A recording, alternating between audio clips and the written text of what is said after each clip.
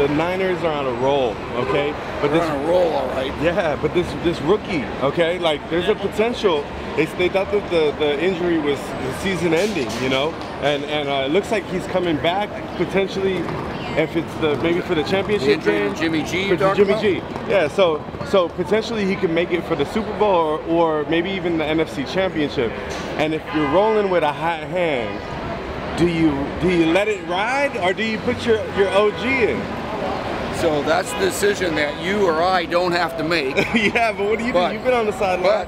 I know it. So you know, there's one there's one school of thought that says you know a starter, and if you consider Jimmy G the starter, you know doesn't lose his job to an injury when he's when he's healthy comes back. Some people feel that's fair. Right, right, right. You know what? I asked Marv Levy one day. You know Marv Levy? No, no, no. All right, look him up. Okay. The Hall of Fame coach, okay? He says, my policy about that is I don't have a policy because sometimes you just got to go with the hot hand. Yeah. Sometimes you have to just go with the guy who you think's playing well and you don't want to make a change to disrupt the chemistry or, or the, uh, the attitude or whatever. So if Brock Purdy keeps playing like he's playing right now, yeah. which is unbelievable, right? I don't know that you change that. Right, and you know if he's up and down, he loses some games, he looks, he plays like a rookie.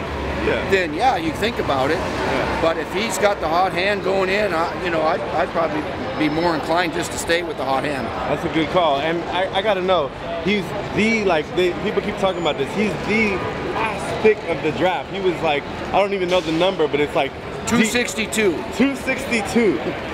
Does this like is this kind of play from guys like that? And even like Russell Wilson was famously, you know, that. Have you, you ever know? heard of a guy named Kurt Warner? You know, a guy I work with over there at the Film Network. I know him. Guess when he was, guess guess when he was drafted? Never, right? Never. Yeah. Never. He's yeah. in the Hall of Damn Fame right now. Right. So this is a, right? this is a continue a continuation. So it's one of those. Uh, unexpected pleasures. All right, it's some, it's somebody that Tom Brady was 199. I mean, it yeah. happens. It happens. But the darn kid is playing his butt off. You got to give him that. So let's just enjoy it. See where it goes. Do you really feel the Niners got this? The, what does that mean? Got this? Do you think they could pull this off?